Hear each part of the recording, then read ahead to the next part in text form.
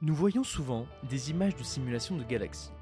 Ces simulations, bien que nombreuses, sont loin d'être simples à réaliser. Nous vous proposons, pendant cette vidéo, de vous montrer comment cela est rendu possible grâce à l'informatique moderne.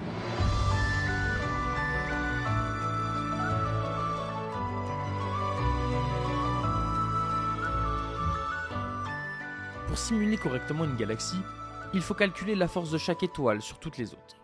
Petit rappel, la théorie de Newton stipule que chaque astre crée une force sur chaque autre astre et réciproquement. Cependant, un algorithme se basant uniquement sur ce fait est inutilisable en pratique car la charge de calcul serait bien trop élevée. Pour visualiser ce problème, nous allons prendre un tableau. Ce tableau possède autant de lignes et de colonnes que d'étoiles. Ainsi, chaque caisse du tableau est associée à deux étoiles. Nous choisissons d'y écrire la force qu'une étoile applique sur l'autre. Afin de déterminer toutes les forces, il faut remplir ce tableau en entier. Le problème de ce tableau est que lorsque des étoiles sont ajoutées, le tableau augmente drastiquement. Multiplié par 10, le nombre d'étoiles revient à multiplier par 100 le nombre de cases. Cette propriété est très déplaisante car le temps de calcul dépend du nombre de cases à parcourir, ce qui augmente très vite. Avec ce genre de méthode, il est impossible ou trop long de simuler des milliards d'étoiles. Nous pouvons être un peu plus intelligents en remarquant que ce tableau est symétrique. En effet, la force entre deux mêmes astres sera toujours la même. Ainsi, le nombre de cases sera divisé par deux. Mais cela ne règle pas le problème de base, le temps de calcul augmente trop rapidement. Pour avoir un meilleur algorithme, il faudrait un algorithme permettant d'éviter de parcourir ce genre de tableau. Malheureusement, pour trouver un tel algorithme, il faut accepter de commettre de petites erreurs d'approximation. L'un des algorithmes les plus connus est celui de Barnes-Hutt. Celui-ci a pour but de regrouper les étoiles par paquet. L'idée et de dire qu'un groupe d'étoiles lointaines aurait peu d'impact. Ainsi, au lieu de calculer la force de chaque étoile, nous calculons la force du paquet d'étoiles. Cet algorithme doit donc faire des regroupements d'étoiles en premier lieu, puis calculer la force engendrée par cela. Cela rend le développement bien plus complexe, mais permet d'éviter une explosion du temps de calcul. Avec ce programme, multiplier par 10 le nombre d'étoiles revient à multiplier le temps de calcul par 30 au lieu de 100 précédemment. Cet écart ne fait que grandir selon cette courbe. Par exemple, multiplier par 1000 le nombre d'étoiles, multiplier le temps de calcul par 10 000. Précédemment, le temps de calcul aurait été multiplié par plus de 1 million. Ainsi, ce genre d'algorithme est bien plus pratique à utiliser lorsqu'on veut grandement augmenter le nombre d'étoiles. A partir de là, c'est à l'informaticien d'utiliser l'algorithme le plus efficacement possible. En effet, il faut mettre en place cet algorithme et l'optimiser au maximum. Pour cela, les informaticiens multiplient les petites astuces afin d'accélérer la simulation.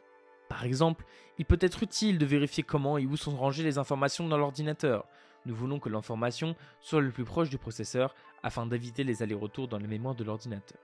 L'idéal étant de stocker directement les informations à côté du processeur dans ce qui est appelé la mémoire cache.